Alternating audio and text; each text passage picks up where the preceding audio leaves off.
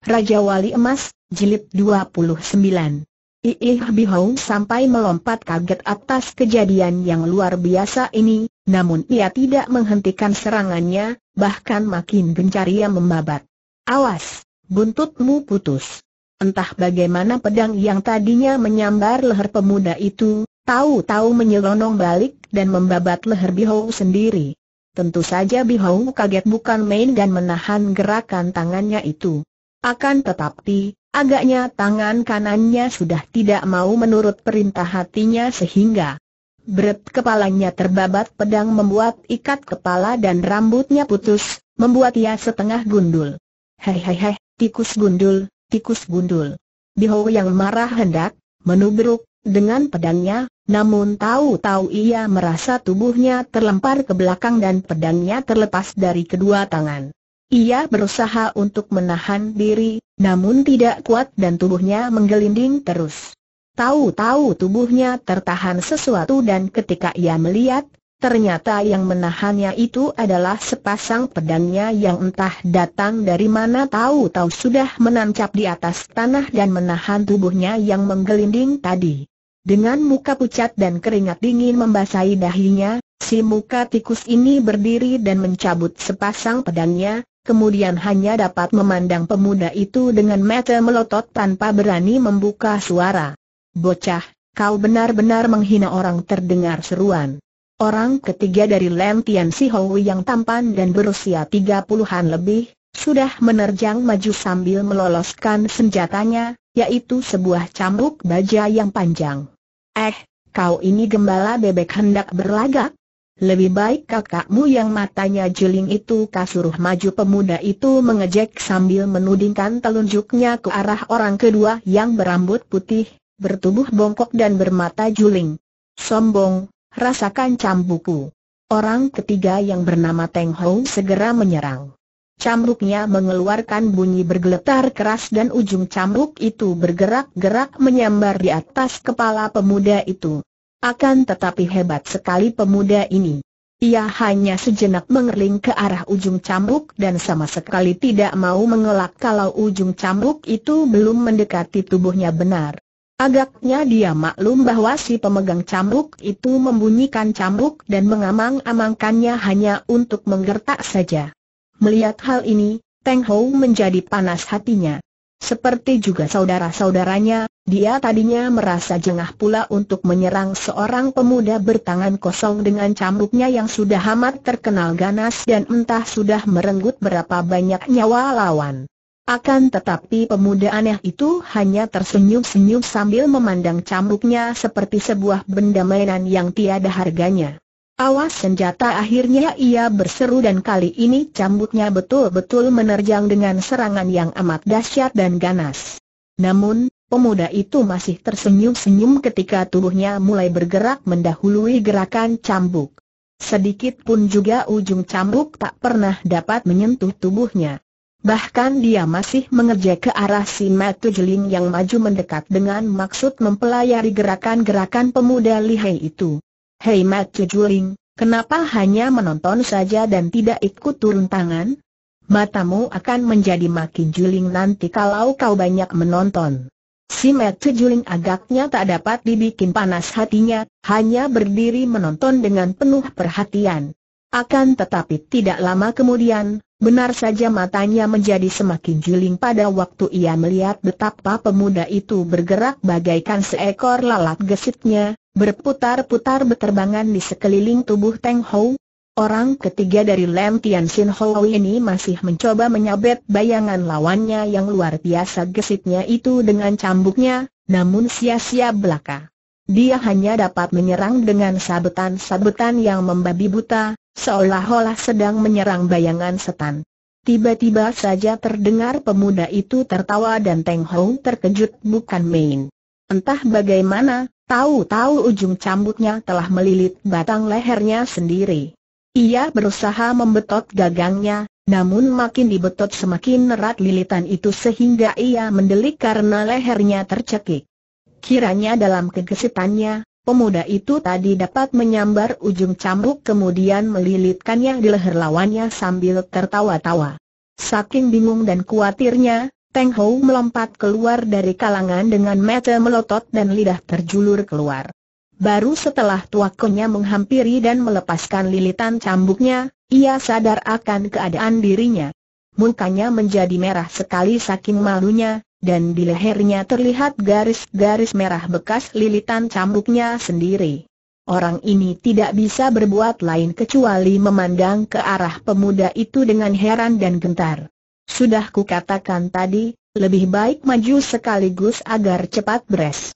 Kalian benar-benar tak tahu diri, Lam Tian Si Ho pemuda itu menantang dan menertawakan ketika melihat si Mat Juling, Ban Ho, melangkah maju dengan ruyung di tangan kanan. Ban Ho ini adalah seorang jagoan tua yang jarang menemui tandingannya di daerah pantai selatan.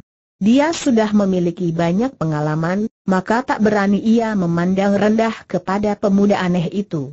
Melihat gerak-gerik pemuda ini dalam pertempuran-pertempuran sebelumnya, diam-diam kakek Juling ini dapat menduga bahwa pemuda ini tentulah murid seorang yang sangat sakti. Diam-diam ia menghubungkan pemuda ini dengan si Raja Pedang Tan Bengsan, yang hanya pernah ia dengar namanya dan kelihayannya. Orang muda, kau benar-benar lihai sekali. Sebegini muda sudah mempunyai kepandaian sehebat itu. Orang muda, aku tak percaya bahwa kau hanyalah seorang anak murid biasa saja dari Taisan Pai. Si Raja Pedang Ketua Taisan Pai itu apa muka? Pemuda itu memang kurang ajar sekali. Orang tua bicara baik-baik, ia tetap menyambut dengan ejekan, eh haha, kakek Mat Juling, Kau tanya-tanya tentang aku apakah kau ingin menarik aku sebagai mantumu? Apakah anak gadismu tidak juling seperti kau? Sudahlah, jangan banyak tanya dan cukup kukatakan kalau aku anak murid Taisan Pai. Kalian ini orang-orang banyak lagak, akan tetapi tidak becus apa-apa dan berani hendak mengacau Taisan Pai. Hayo, kalian boleh kalahkan aku lebih dulu, murid kecil dari Taisan Pai, Diam-diam Kun Hang mendongkol juga menyaksikan sikap pemuda itu. Harus dia akui bahwa kepandaian pemuda itu hebat sekali. Dari gerak-geriknya tadi ketika bertempur, ia dapat mengambil kesimpulan bahwa walaupun masih amat muda, orang itu benar-benar telah matang kepandaiannya dan mempunyai dasar yang amat kuat, baik lewekang maupun ginkangnya dari tingkat tinggi. Akan tetapi ia menganggap pemuda itu terlalu sombong dan agaknya macu keranjang pula. Sudah dua kali ia mendengar pemuda itu bicara tentang perempuan, yaitu ketika di gedung Tantai Jin dahulu pemuda ini menyatakan iri hati kepada pangeran mahkota yang selalu mendapatkan wanita cantik untuk menjadi selir. Sekarang terhadap si Matu Juling lagi-lagi pemuda ini memperlihatkan sikap ceriwisnya. Ban Hou tidak marah mendengar ejekan-ejekan pemuda itu. Dia melintangkan ruyung di depan dadanya, lalu berkata, orang muda, setidaknya kau tentu suka memberitahukan siapa namamu. Kau sudah mengenal kami semua, memang kau mempunyai mata yang amat tajam, dan harus kuakui bahwa kami tidak dapat menduga siapakah sebetulnya kau orang muda yang lihai ini. Agaknya kesabaran dan ketenangan Ban Hou ini membuat pemuda ini berhati-hati, hal ini ternyata dari jawabannya yang tidak main-main lagi. Orang tua, namaku tidak ada artinya bagimu. Jika ku beritahu juga kau takkan pernah mendengarnya dan tidak akan mengenalnya. Yang jelas bahwa aku adalah anak murid Taisan Pai dan jika kalian hendak mengganggu Taisan Pai, harus dapat mengalahkan aku lebih dulu kakek Juling itu mengangguk-angguk. Kau memang tak kabur, akan tetapi juga sesuai dengan kepandaianmu. Marilah kau layani ruyungku ini. Apakah menghadapi aku kau pun akan bertangan kosong saja? Pemuda itu sejenak meragu. Biarpun ia masih muda, namun agaknya ia sudah mengerti bahwa menghadapi seorang lawan yang begini tenang, ia harus berhati-hati sekali.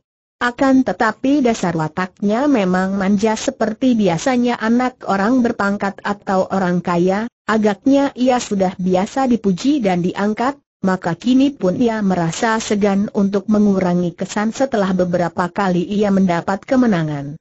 Kau sudah tua, aku masih muda sudah sepatutnya kalau aku mengalah sedikit. Boleh kau serang aku, kakek Juling. Ucapan ini betul-betul amat takabur sebab keadaannya terbalik. Yang patut mengeluarkan kata-kata itu adalah si tua, bukan si muda karena dalam hal ilmu silat, pada umumnya yang lebih tua itu lebih matang dan mempunyai pengalaman lebih banyak sehingga lebih patut pula kalau yang tua yang mengalah. Akan tetapi kakek juling itu tidak menjadi panas perutnya seperti yang dimaksudkan dan dikehendaki oleh pemuda itu, sebaliknya kakek ini lalu memasang kuda-kuda dan berkata, kau sendiri yang menetapkan, jangan menyesal nanti. Nah, kau lihat senjataku. Baru saja habis ucapannya ini, Ruyung sudah menyambar dekat sekali dengan kepala pemuda itu. Bukan main cepatnya gerakan kakek itu dan yang paling hebat, Ruyungnya yang amat berat itu bergerak tanpa mendatangkan angin dan tahu-tahu sudah mendekati kepala lawannya. Bagus pemuda itu berseru nyaring. Ia benar-benar kaget dan tahu bahwa lawannya kali ini benar-benar seorang yang berisi, jauh bedanya dengan yang sudah-sudah. Maka dia berlaku waspada, cepat menggeser kedua kakinya dan mempergunakan langkah-langkah yang amat teratur dan amat indah, Sementara kedua tangannya bergerak-gerak untuk mengimbangi tubuh dan kadang-kala juga digunakan untuk balas menyerang. Anehnya, dua tangan itu gerakannya sama sekali berlainan dan bahkan berlawanan sehingga memperlihatkan cara bersilat yang janggal sekali, aneh, dan membingungkan. Kalau tadi pemuda ini hanya mempermainkan sekalian lawannya, kali ini ia tidak hanya main loncat dan kelit, akan tetapi tiap kali mendapat kesempatan juga balas menyerang dengan sengit. Hebatnya tidak pernah ada serangan lawan yang tidak dibalasnya. Sambil mengelak atau mendorong ruyung dari samping, tentu ia segera balas menyerang dengan pukulan atau tendangan. Berkali-kali kakek Juling itu harus berseru memuji karena segera ternyata bahwa serangan balasan pemuda itu dengan tangan atau kakinya ternyata tidak kalah hebatnya dengan serangan ruyungnya. Dan yang sangat membingungkan hatinya adalah gerakan tangan pemuda itu. Sebegitu jauh belum juga ia dapat mengenal ilmu silat itu. Maka ia segera menggerakkan ruyungnya lebih gencar pula agar pemuda itu mengeluarkan simpanannya dan dia dapat mengenal ilmu silatnya. Hebat gerakan ruyung ini. Kalau tadi gerakannya sama sekali tidak mendatangkan angin, sekarang begitu ruyung diputar, angin menderu dan terdengar angin mengiung. Ruyung itu kelihatannya menjadi puluhan buah banyaknya, mengancam pemuda ini dari segala jurusan. Melihat hal ini, Kun Hang mengerutkan keningnya dan otomatis kedua tangannya sudah memegang lagi dua buah batu kecil yang tadi dilepasnya. Si Juling ini benar-benar hebat, pikirnya, sekali saja kepala pemuda itu terlanggar ruyung, tentu akan pecah berantakan dan habislah riwayat pemuda sombong dan nakal ini. Betapapun tidak senangnya terhadap pemuda itu, melihat orang membela mati-matian kepada Taisan Pai yaitu perkumpulan yang didirikan oleh Tan Beng San, orang yang dipuji-puji dan dihormati ayahnya, tentu saja ia tak akan membiarkan pemuda ini tertimpa bencana. Di samping ini, dia pun mempunyai kesan baik atas sikap pemuda yang tidak mau membunuh lawannya itu. Dua hal inilah yaitu membela Tai Pai dan tidak mau membunuh lawan, merupakan penawar dari kebenciannya terhadap si pemuda, kebencian yang dia sendiri tidak tahu mengapa bisa mengotori hatinya. Belum pernah selama hidupnya ia bisa membenci orang seperti perasaannya terhadap pemuda ini. Banyak sudah ia melihat orang sombong, juga banyak melihat orang manja, akan tetapi belum pernah dia merasakan kebencian dalam hatinya seperti terhadap pemuda ini.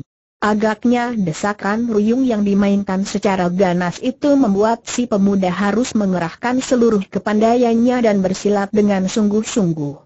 Tiba-tiba ia mengeluarkan seruan nyaring sekali sampai memekakan telinga, Lalu tubuhnya melesat ke sana kemari sambil kedua tangannya mengirim serangan-serangan jarak jauh yang membuat si pemegang ruyung beberapa kali mengeluarkan seruan tertahan. Pada saat si Matu Jeling menghantamkan ruyungnya untuk menyerang pinggang, pemuda itu meloncat ke atas dengan gerakan yang sangat ringan seperti burung walet terbang. Akan tetapi lawannya juga gesit sekali karena ruyung itu tidak dibiarkan melewat, hanya langsung ia babatkan ke atas untuk memukul kedua kaki pemuda yang tubuhnya masih berada di udara itu. Kedua tangan Kun Hang sudah gemetar dan menegang, siap melontarkan sambitan batu untuk menolong si pemuda ketika terjadi pertunjukan yang amat luar biasa oleh pemuda itu. Biarpun dirinya diserang selagi berada di udara, pemuda itu tidak menjadi gugup, malah ujung kaki kirinya dari samping ditotolkan kepada ujung ruyung lawannya dan tubuhnya mencelat mumbul lagi ke atas berjungkir balik. Ketika tubuhnya turun dan dia disambut hantaman ruyung, kembali dia menotolkan ujung kaki pada ruyung dan kembali tubuhnya mencelat ke atas. Pertunjukan ini amat hebat sampai-sampai semua orang yang memandang mengeluarkan seruan memuji. Betul-betul ginkang yang sangat hebat disertai kelincahan dan kegesitan yang luar biasa. Agaknya si Matu Jeling menjadi penasaran. Ia sudah menang di atas angin, Pemuda itu tak dapat turun lagi dan posisinya amat buruk, masa ia tidak mampu mengalahkannya? Dengan penuh semangat, ketika pemuda itu kembali melayang turun, ruyungnya segera melakukan hantaman dari kiri ke kanan sehingga tak mungkin disambut oleh kaki pemuda itu lagi. Kring! Aduh! Tampaklah bunga api berpijar dan si Matu Jeling terhuyung-huyung ke belakang dengan ujung ruyungnya yang sudah sapat, Sedangkan pemuda itu sudah turun dengan wajah tersenyum dan sebatang pedang yang berkilauan saking tajamnya berada pada tangan kanannya. Entah kapan ia mencabut pedangnya, tahu-tahu ia sudah dapat mempergunakan itu, tidak hanya untuk menangkis saja, bahkan untuk membuat sapat senjata lawan dan sekaligus mendesak lawannya mundur terhuyung-huyung. Lepas senjata serunya dengan suara nyaring. Tahu-tahu tubuhnya melayang ke depan, pedangnya bergerak seperti kilat berputaran ke arah tangan si pemegang ruyung dan, mau tak mau si Matu Jeling harus melepaskan ruyungnya karena pedang lawan yang hebat itu sudah berputaran di sekitar pergelangan tangannya yang memegang gagang ruyung. Pemuda itu melompat mundur dan menyimpan kembali pedangnya. Dengan wajah pucat si Matu Jeling memandang, mulutnya berkata gagap, kau, kau, Apanya si Raja Pedang? Pemuda itu hanya tersenyum tidak menjawab, sebaliknya menghadapi orang pertama dari Lantau Si Hou, yaitu orang berusia lima puluhan tahun yang bertubuh pendek gemuk berperut gendut dengan muka seperti kanak-kanak. Kau adalah orang pertama dari Lem Tian Si Hou? Nah, sesudah semua bawahanmu kalah, apakah kau pun ingin coba-coba? Si gendut ini tersenyum lebar, matanya jelas membayangkan kekaguman.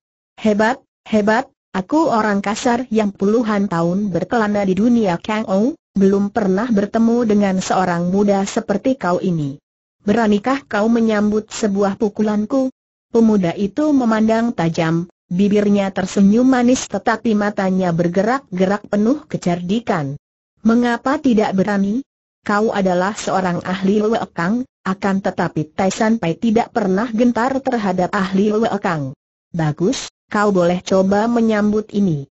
Kakek gendut itu lalu memukul dengan tangan kiri terbuka jari-jarinya ke arah ulu hati si pemuda. Melihat ini, pemuda itu dengan berani sekali segera menyambut pukulan dengan tangan kanannya. Celaka Kun Hang yang melihat dari tempat persembunyiannya diam-diam berseru. Kun Hang maklum bahwa si gendut itu mempunyai tenaga luakang yang sangat liai, bagaimana pemuda itu demikian bodoh menyambut? Tidak tahukah bahwa pemuda itu kena dipancing dan dijebak oleh si gemuk? Terang bahwa si gemuk maklum akan kelihayan permainan pedang pemuda itu, maka ia sengaja mengajak adu tenaga luakang dan sengaja pula menggunakan tangan kiri agar disambut tangan kanan pemuda itu. Kalau tangan kanan pemuda itu sudah tertempel di tangan kirinya, lalu datang lain serangan, tentu pemuda itu takkan dapat menggunakan pedangnya.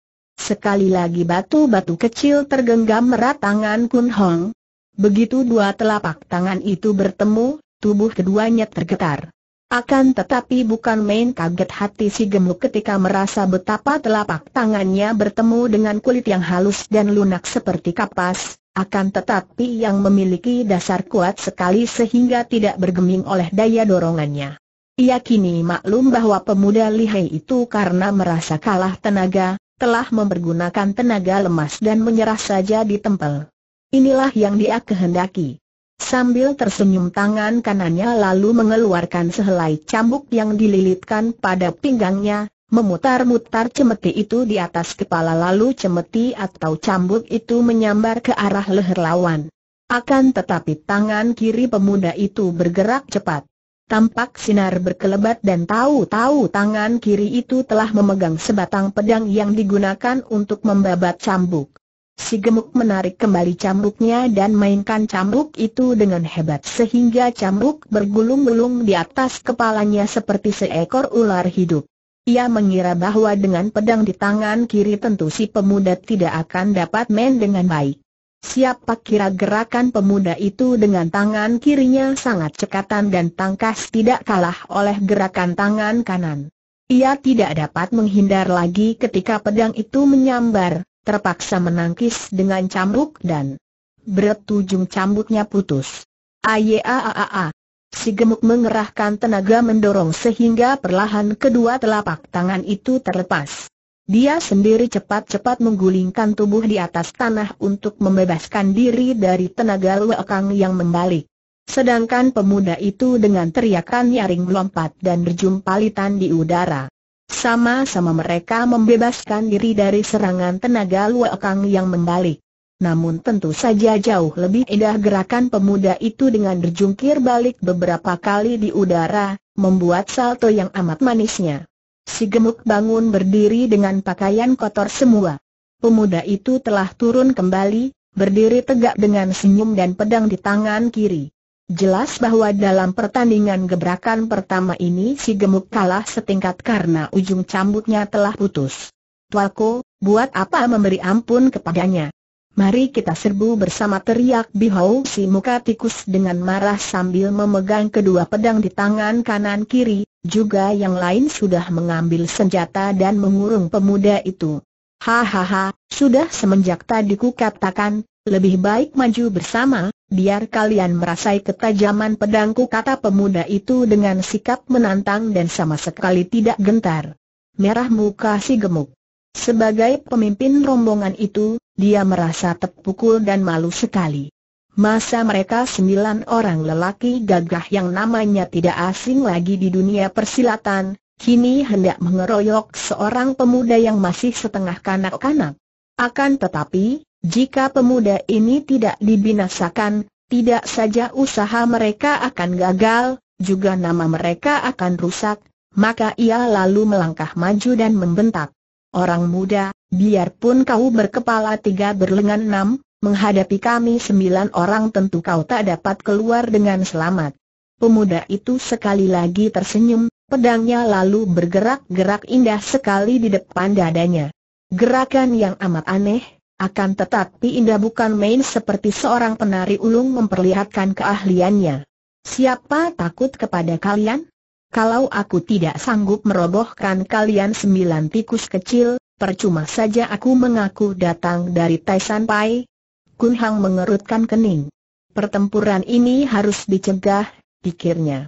Kalau pemuda itu dikeroyok, keadaannya benar-benar berbahaya. Walaupun seorang melawan seorang dia sudah menang, akan tetapi dikeroyok sembilan orang yang kesemuanya merupakan ahli-ahli silat pandai ini, bukanlah hal yang boleh dipandang ringan begitu saja. Selain ini, bila dikeroyok kiranya pemuda itu takkan dapat mengalahkan tanpa membunuh seperti tadi dan tentulah akan terjadi pembunuhan besar-besaran. Ia harus turun tangan mencegah. Setelah berpikir sejenak, pemuda ini lalu melompat keluar dari tempat persembunyiannya dan berseru keras, tahan dulu, jangan berkelahi. Semua orang menunda gerakan masing-masing dan menoleh heran. Terutama sekali dua orang saudara Kam yang tinggi besar dan pemuda pesolek itu, yang mengenal Kun Hong. Pemuda itu sendiri tampak kaget karena ia sama sekali tidak mengira akan dapat bertemu dengan Kun Hong di tempat ini. Kau siapa? Mau apa Kang Ho bertanya dengan suara bentakan. Kun Hang cepat mengerahkan tenaga batin seperti yang dia pelajari dari kitab pemberian Sineng Chului Bok, menatap wajah sembilan orang itu berganti-ganti, kemudian dengan suara aneh ia berkata, kalian ini sembilan orang benar-benar tak tahu diri. Kalian sudah kalah semua, tidak tahukah betapa lihainya saudara muda ini? Tidak melihatkah kalian bahwa dia benar-benar berkepala tiga dan berlengan enam? Lihatlah baik-baik dan akan lebih selamat kalau kalian lekas pergi saja sebelum mampus oleh manusia berkepala tiga berlengan enam ini. Hampir saja pemuda itu tertawa bergelak mendengar kata-kata yang dianggapnya lucu ini. Benar-benar keterlaluan si kutu buku ini, pikirnya. Tapi mulutnya yang sudah tersenyum itu tiba-tiba terbuka, ternganga keheranan melihat orang-orang itu. Muka sembilan orang itu menjadi pucat, Mata mereka terbelalak memandang kepadanya. Tubuh kedua saudara Kam menggigil dengan bibir yang membiru. Tiga saudara Hui Liong Sam Heng Te memandang dengan mata melotot, biji mata mereka seakan-akan hendak keluar dari ruangnya. Si muka tikus gemetar seluruh tubuhnya sampai giginya mengeluarkan bunyi. Teng Hou berdiri bagai patung, memegang cambuk dan menggigit gagang cambuknya kakek juling itu menggerak-gerakan kepalanya untuk mengatur matanya yang juling, seakan-akan tidak percaya akan pandangan matanya yang semakin menjuling. Yang lucu adalah sikap Kang Ho si gendut. Ia menggosok-gosok kedua matanya, lalu menggaruk-garuk rambutnya, menggosok-gosok lagi matanya, akhirnya dia berteriak. Siluman! Iblis! Setan! Lebih baik pergi. Lari teriak Kang Ho yang tak dapat menahan rasa takutnya lagi. Berserabutan mereka lari. Ada yang masih mencoba untuk menengok, akan tetapi begitu menengok dia menjadi makin ketakutan sampai jatuh bangun ketika lari. Pemuda itu berdiri bengong. Bulu tengkuknya meremang dan otomatis ia pun menengok ke belakangnya. Mana siluman atau iblis yang ditakuti mereka? Ia memandang ke sana kemari, Akhirnya memandang Kun Hang yang berdiri tersenyum-senyum saja. Kenapa, kenapa mereka itu pemuda itu berkata dengan suara perlahan, masih belum lenyap keheranannya melihat peristiwa yang luar biasa anehnya itu. Kenapa lagi kalau tidak takut kepadamu, orang berkepala tiga berlengan enam jawab Kun Hong, nadanya mengejek. Pemuda itu matanya berkilat, marah. Jangan main-main kau. Eh, siapa main-main? Bukankah mereka bilang kau berkepala tiga berlengan enam? Apakah tidak senang berkepala tiga berlengan enam? Siapa sudi jadi tontonan orang? Kan bagus jadi tontonan orang, tinggal masuk pasar pukul tambur mengumpulkan uang. Eh haha, kutu buku busuk. Jangan kau mempermainkan aku, ya? Siapa yang mempermainkan? Aku sama sekali tidak ingin mempermainkan orang, apalagi mengandalkan kepandaian. Ahaha, aku tidak berkepandaian apa-apa. Pemuda ini merasa dirinya disindir, tangannya diangkat hendak menampar, akan tetapi ditahannya kembali. Kun Hang melangkah maju, mukanya merah sekali saking marahnya. Ia maklum apa arti gerakan tangan seperti seorang dewasa menggertak anak kecil yang hendak ditempleng itu. Kau mau pukul lagi? Boleh, pukullah. Memang kau manusia sombong, manja dan selalu mengandalkan kepandaian, bisanya cuma pukul orang. Huh! Meta pemuda itu semakin membara. Siapa sombong? Kau sendiri yang sombong, kutu buku. Orang macam kau ini berani memaki-maki tanpa ku. Kau berlagak pintar, berani memberi nasihat kepada Tan Pek Sudah patut kalau ku tampar. Aku tidak menyesal menamparmu dahulu itu. Dada Kun Hang terasa panas seakan hendak meledak. Kau memang anak jahat. Heran aku mengapa Tai Pai bisa mempunyai murid begini jahat. Pemuda itu tiba-tiba membentak, Hi, kenapa kau mengintai aku? Kenapa kau mengikuti aku? Setan, siapa mengintai? Siapa yang mengikuti? Aku hendak ke Taisan, apa urusannya dengan kau? Kun Hang diam-diam merasa heran sekali mengapa setelah berhadapan dengan pemuda ini, ia tak dapat menguasai diri lagi dan menjadi pemarah. Dan ia tidak tahu pula kenapa ia marah-marah, mungkin sebal karena melihat sikap pemuda itu terhadapnya demikian sombong dan memandang rendah. Kau hendak ke Taisan. Mau apa ke sana? Apakah mau mengacau seperti sembilan ekor tikus tadi? Jangan kau menyangka yang bukan-bukan.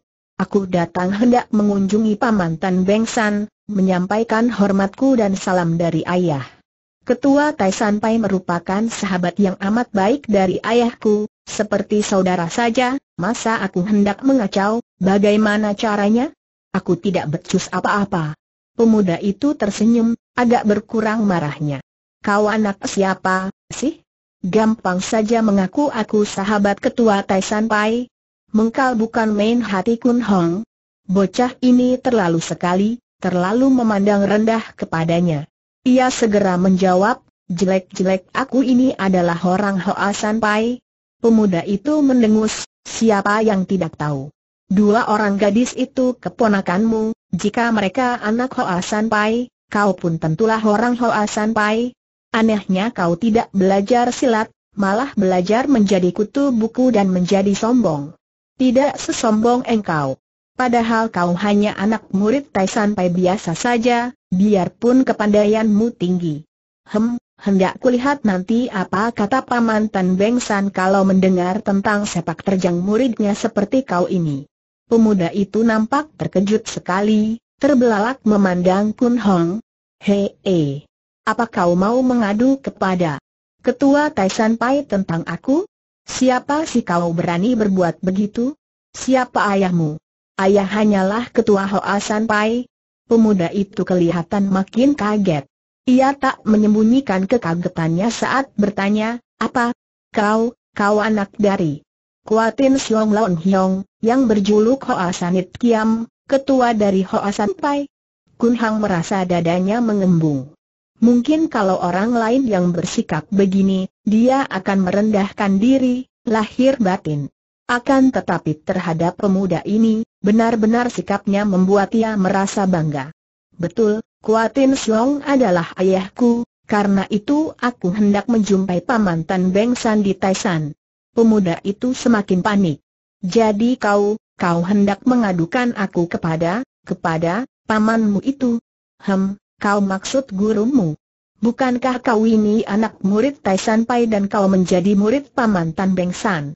Betul, suara pemuda itu sekarang terdengar perlahan dan lemah, mukanya menunduk. Kau akan mengadu kepada suhu tentang apa? Tentang apa lagi? Tentang kesombonganmu, tentang sikapmu terhadap aku, tentang, tanpa terasa Kun Hang mengusap kedua pipinya, seakan-akan masih terasa gaplokan di pipinya. Pemuda itu mengangkat muka memandang. Ah, kau mau mengadukan bahwa aku telah menampar pipimu. Hem, mungkin juga. Dan tentang kesombonganmu yang tidak mau membagi kamar, tentang sikapmu yang takabur. Tidak patut kau menjadi murid seorang pendekar perkasa seperti Paman Tan Bengsan. Apakah kau pernah bertemu dengan dia? Belum, akan tetapi kalau Paman mendengar bahwa aku anak Kuatin Siong, kira kuda akan percaya. Hening sejenak, pemuda itu duduk di atas rumput, tangannya mencabuti rumput, nampak bingung sehingga diam-diam Kun Hang tersenyum dengan puas.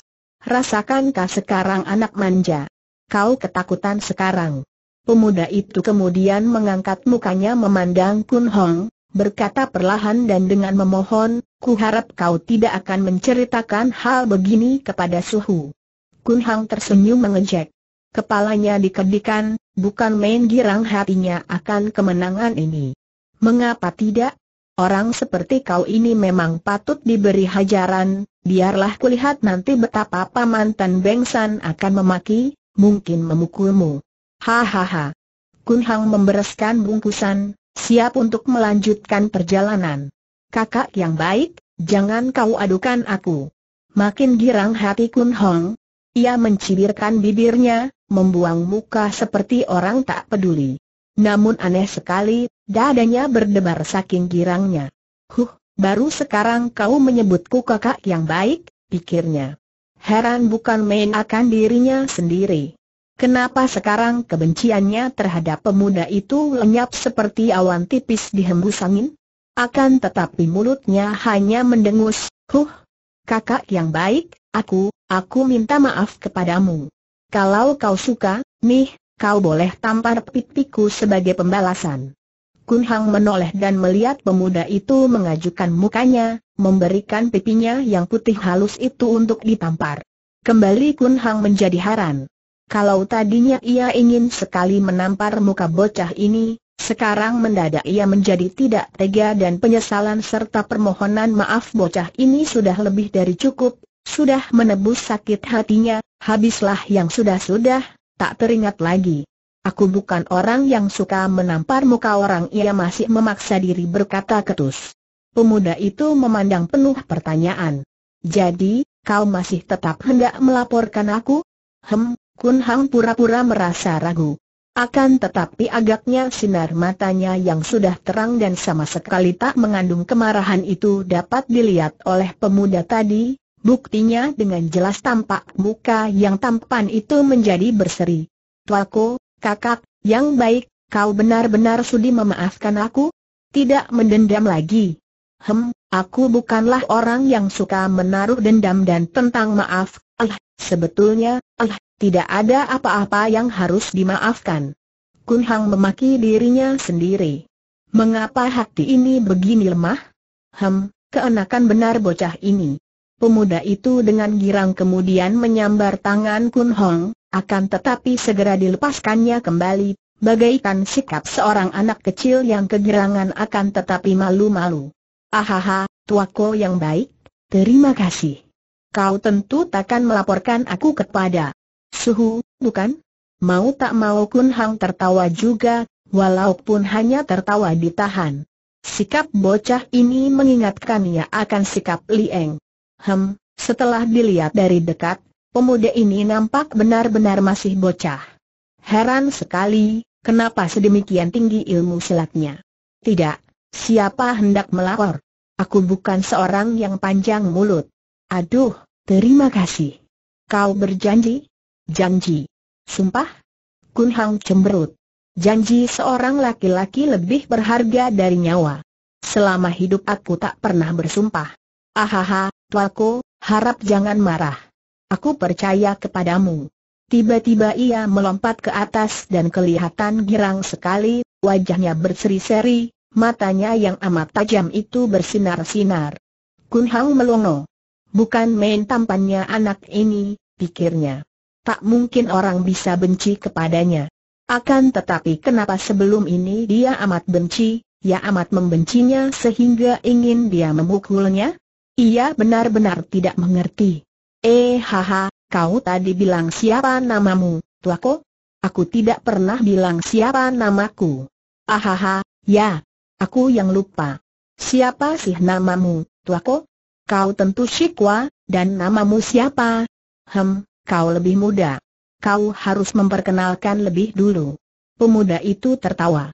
Makin tampan wajahnya pada waktu tertawa. Namaku Choi. Nah, sekarang katakan, Siapa namamu, tuaku? Namaku Kun Hong. Kua Kun Hong. Hem, kalau begitu kau kupanggil Hongko, kakak Hong. Sejenak mereka diam. Nama pemuda itu sama sekali tidak menarik perhatian Kun Hong. Dia lebih tertarik oleh gerak-gerik pemuda yang lincah jenaka dan gembira ini. Hongko, kedua orang keponakanmu itu lenyap. Ke manakah mereka? Siapa tahu mereka di mana? Yang menculik mereka adalah Song Bun Kwei, aku pernah mendengar sendiri waktu iblis itu mengaku di depan para pengawal istana. Karena itu aku hendak minta pertolongan Paman Tan Bengsan untuk menolong mereka. Pemuda itu nampak terkejut sekali. Song Bun Kwei. Ah, sudah kuduga. Celaka, dia itu lihai sekali, apakah kau betul-betul telah bertemu dengan Song Bun Kwei? Siapa membohong padamu? Aku melihat sendiri Song Bun Kwei mengaku di depan para pengawal istana, di tempat kediaman Ningkolian kau, kemudian Song Bun Kwei dikeroyok oleh para pengawal, dibantu oleh Toat Beng Yokmo dan Ningkolian Kau Chu. Song Bun Kwei lalu lari sambil menyeret aku, dan ia bertemu dengan iblis yang bernama Xiao Wong Kwei. Mereka kemudian bertempur dan aku lari lalu, bertemu dengan kau. Cui Bi pemuda itu menggeleng-geleng kepala, nampak keheranan sekali. Aneh benar, Hang Ko. Kau putra ketua Hoa San Pai, tetapi tidak pandai silat. kau tidak pandai silat, namun bertemu dengan tokoh-tokoh jahat seperti Song Bun Kwei, Toat Beng Yokmo, Ngkelian Kau Chu dan lain-lain. Hebat pemuda ini menggeleng-geleng kepala dan mulutnya tiada hentinya mengeluarkan bunyi berdecak tanda bahwa dia benar-benar keheranan. Kun Hang tiada hentinya memandangi wajah pemuda ini, makin dipandang ia pun makin kagum. Pemuda ini benar-benar tampan dan lincah. Ah, alangkah cocoknya dengan Li Eng. Hang Ke, apakah selama ini kau melakukan perjalanan dengan dua orang keponakanmu itu? Siapa sih mereka itu? Siapa saja nama mereka? Aku ingin sekali berkenalan dengan mereka. Kembali ada rasa tidak enak di hati Kun Hong, Teringat dia akan sikap pemuda ini yang agaknya macu keranjang. Hem, perlu diperkenalkan supaya pemuda ini tahu anak siapa mereka itu sehingga tidak akan berani main-main. Yang seorang bernama Kui Lieng, anak paman Kui Lok dan bibi Tio Bue. Seorang lagi bernama Tio Chu, anak paman Tio Ki dan bibi Li Jiok. Wajah Cui bimakin berseri, kau maksudkan bibi Li Jiok. Bukankah itu bibi guruku, murid dari Sukong Chia Gan? Betul, karena itu kau tidak boleh main-main. Cui Bi mengeling dan memainkan bibirnya, setengah tersenyum ketika berkata, agaknya sengaja memanaskan hati, Hang Ke, apakah, apakah mereka itu, eh haha, cantik jelita. Merah wajah Kun Hang dan kembali hatinya tak sedap rasanya. Ia memandang tajam dan membentak, kau tanya-tanya mau apa sih? Cui Bi tertawa. Ahaha, tanya saja apa salahnya. Hang Ke, engkau mengadakan perjalanan bertiga saja dengan mereka. Hem, senang sekali, ya? Kau bilang apa Kun Hang mendelik marah. His, jangan marah, tuaku. Aku hanya main-main. Kok engkau gampang sekali marah? Pemarah benar kau, ya? Siapa suruh kau bercakap-cakap tidak karuan? Tuaku, Bukanlah menggirangkan hati kalau mendengar bahwa aku mempunyai saudara-saudara seperguruan. Marka itu, apalagi. Nona Huicu itu, terhitung masih saudara seperguruan denganku karena ia pun cucu murid dari kakek guruku, bukan? Nah, sudah sepatutnya kalau aku ingin mendengar tentang diri mereka. Katakanlah, apakah mereka itu cantik? Bagaimana kepandaian mereka? Diam-diam Kun Hang harus membenarkan kata-kata ini. Pula, bocah masih sebegini kecil, masih kekanak-kanakan, masa mempunyai pikiran yang bukan-bukan? Tunggu saja, kalau kau sudah bertemu dengan Li Eng. Hem, pasti kau takkan bisa bicara main-main. Kau akan kalah berbicara dengan dia. Cantik benarkah dia? Cantik, seperti bidadari, seperti, seperti bunga mawar hutan. Cui Bi tertawa geli. Aha, kiranya kau pria yang amat romantis, tuaku. Pintar mengambil perumpamaan. Mengapa kau bilang dia seperti bunga mawar hutan? Merah wajah Kun Hong. Bocah ini benar-benar menggemaskan, kadang-kadang dia kalah berbicara dengannya, selalu kena goda. Benar-benar harus bertemu dengan Lieng, baru tahu rasa kau, pikirnya.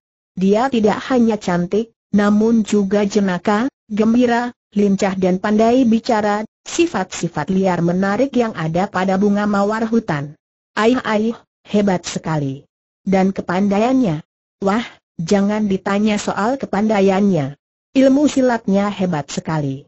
Dialah satu-satunya orang yang paling pandai tentang ilmu silat loa sampai pada saat ini. Cui Bi melengak, suaranya tidak main-main lagi ketika dia bertanya, aneh sekali, tuaku. Bukankah ayahmu yang terpandai? Kun Hang menggeleng kepala. Bukan, yang terpandai adalah ayah Bunda Lieng itulah. Mereka telah bertemu dengan Sukong Lian Tito Jin yang telah memiliki dan mewarisi ilmu silat Loa Sanpai yang asli dan mengangkat mereka sebagai murid. Lieng mewarisinya dari ayah bundanya. Lihainya bukan main. Kau akan kalah segala-galanya dengan dia. Aneh benar. Pemuda itu kelihatan penasaran. Hem, hem, ingin aku bertemu dengannya dan mencoba-coba.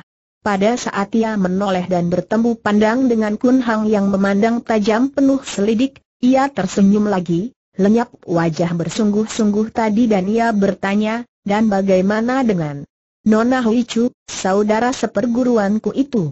Apakah dia juga cantik dan pandai? Seperti, bunga apakah dia?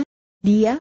Hem, dia seperti bunga seruni, alim pendiam, serius dan pandangannya jauh, pikirannya luas dan cerdik. Tentang ilmu silat, dia kalah oleh Li Eng, akan tetapi dia pun lihai karena selain menerima pelajaran ilmu silat Loa Sai Pai, dia pun sudah mempelajari ilmu pedang dari ibunya.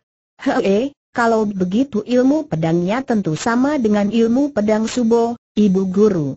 Wah wah wah, dan kau selama ini melakukan perjalanan dengan dua orang bidadari?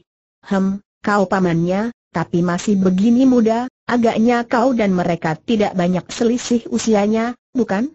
Hus, kau bicara apa? Aku bukan laki-laki seperti kau. Betulkah Cui Bi mengerling dengan sikap menggoda dan tidak percaya? Sudahlah. Hatiku gelisah mengingat nasib mereka, kau hanya bicara main-main saja. Agaknya pemuda itu baru ingat akan hal ini. Ah, betul juga. Hayo kita cepat-cepat pergi ke Taisan menjumpai suhu. Kalau suhu turun tangan, jangankan baru Song Bun KWI, biar ada sepuluh Song Bun KWI tak perlu takut lagi. Mereka lalu berjalan meninggalkan tempat itu. Diam-diam Kun Hang mendapat kesan aneh akan diri pemuda di sampingnya ini. Sombong, sudah jelas. Ucapan terakhir tentang suhunya saja amat sombong. Binal, seperti kuda liar. Gembira dan jenaka, hampir sama dengan Li Eng. Kadang-kadang mendatangkan rasa suka, kadang-kadang menimbulkan kegemasan yang luar biasa. Pemuda yang aneh, pikirnya. Akan tetapi pamannya Tan Beng San itu, kabarnya adalah seorang raja pedang, seorang sakti. Seorang sakti tentu aneh dan tidak mengherankan kalau muridnya pun aneh. Hanya saja, masih begini muda. Mereka berhenti istirahat di sebuah hutan. Hari itu sangat terik.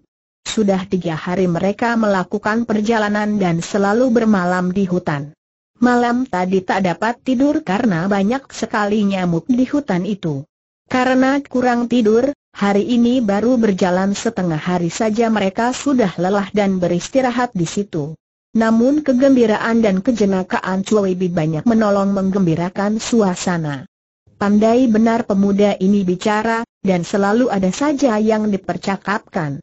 Pandai pula dia memancing-mancing sehingga banyak Kun Hang bercerita tentang dirinya, walaupun ia berhasil menyembunyikan segala kepandaian silat yang pernah dipelajarinya. Tentu saja Kun Hang tidak dapat menyembunyikan kenyataan bahwa sedikit banyak dia mengerti ilmu silat. Aku hanya mempelajari teorinya, tidak suka mempelajari prakteknya. Ayah tidak membolehkan, demikian katanya.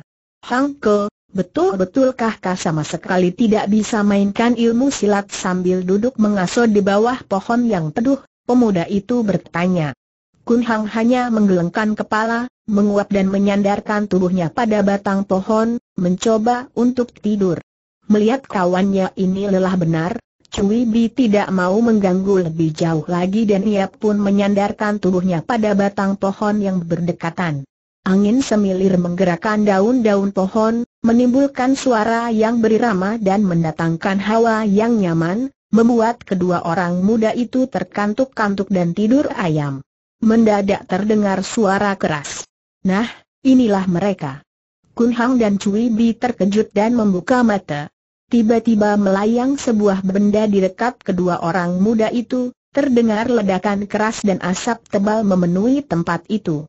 Celaka, Hang Ke, awas terdengar suara Cui Bi dan selanjutnya sunyi. Kun Hang mencium bau yang amat harum menyengat hidung. Cepat ia menekan hawa murni dari pusar ke atas dan mendorong keluar asap yang sedikit memasuki dadanya, kemudian dengan pengerahan tenaga murni ini ia dapat menahan napas dan terhuyung-huyung menghampiri Choi Bi. Dilihatnya Choi Bi bergerak lemah, merangkak hendak pergi dari daerah berasap. Melihat keadaan pemuda itu, Kun Hang cepat menangkap tangannya dan diseret, dibawa lari ke tempat bersih. Untung bahwa asap itu sebentar saja lenyap, terbawa angin yang bertiup agak kencang. Akan tetapi dengan lemas Cui Bim menjatuhkan tubuhnya di atas tanah ketika Kun Hang melepaskan tangannya. Kun Hang tidak apa-apa, dan ia amat khawatir melihat keadaan Cui Bi yang agaknya jatuh pingsan itu. Ia berdiri dan menoleh ke belakang. Alangkah kagetnya ketika ia melihat tiga orang berdiri di situ. Seorang adalah Kang Ho, orang tertua dari Lem Tian Si Ho yang gemuk pendek bermuka kanak-kanak. Orang kedua adalah seorang Hwasyo tinggi kurus berkepala gundul licin dan beralis tebal sampai hampir menutupi kedua matanya, dan orang ketiga adalah Toat Beng Yokmo sendiri. Kun Hang menjadi gelisah dan gugup. Jelas bahwa kedatangan tiga orang ini tidak akan mendatangkan kebaikan, buktinya datang-datang mereka lantas menyerang dengan obat peledak dengan racun memabukkan, sehingga Cui Bi yang boleh ia harapkan akan dapat melawan mereka ini sekarang pingsan dan tidak berdaya. Tentu saja Kun Hang tidak tahu bahwa Cui Bi hanya sebentar saja nanar lemulu ekang pemuda ini juga sudah tinggi sekali, maka sebentar saja ia bisa mendorong asap beracun itu dari tubuhnya, keluar dan ia sudah tidak apa-apa lagi. Hanya tadi karena keheranan melihat Kun Hang juga tidak apa-apa dan bahkan dapat menolongnya, Timbul keinginan hati pemuda ini untuk mencoba Kun Hang yang berkali-kali menyatakan tidak mempunyai kepandaian. Ia sengaja pura-pura pingsan sambil diam-diam siap sedia melindungi Kun Hang. Ingin ia melihat bagaimana Kun Hang akan menghadapi tiga orang lawan berat ini.